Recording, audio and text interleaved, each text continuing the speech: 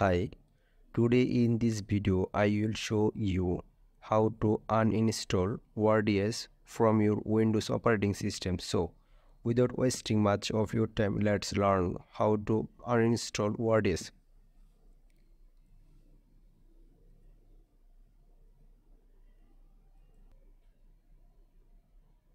So go to the ORDS folder path.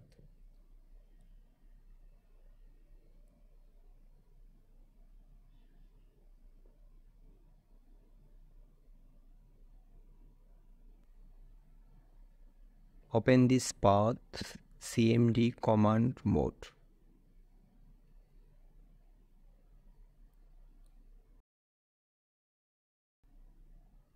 Execute the command.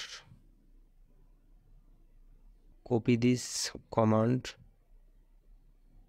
and paste it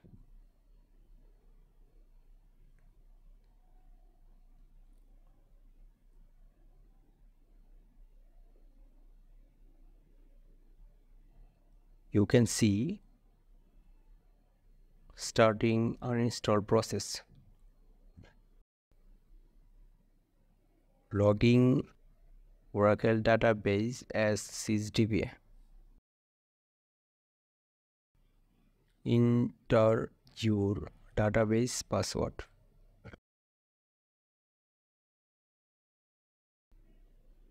Wait just few minutes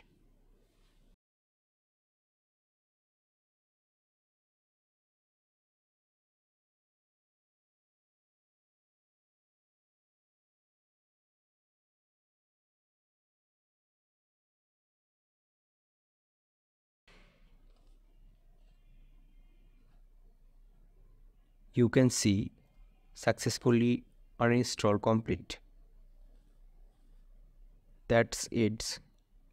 If you like this video then give it a thumbs up. Subscribe my channel. Thanks for watching